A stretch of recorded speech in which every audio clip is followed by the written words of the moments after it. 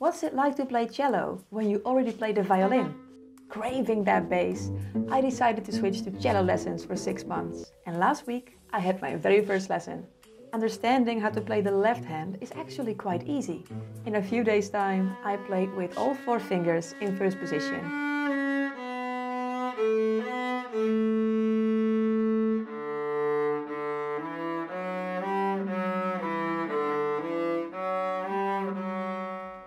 But the real struggle is keeping a good posture.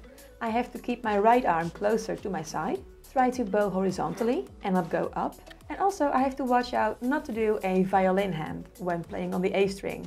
So I need to bend my left side slightly back so I can place my fingers at a straight angle.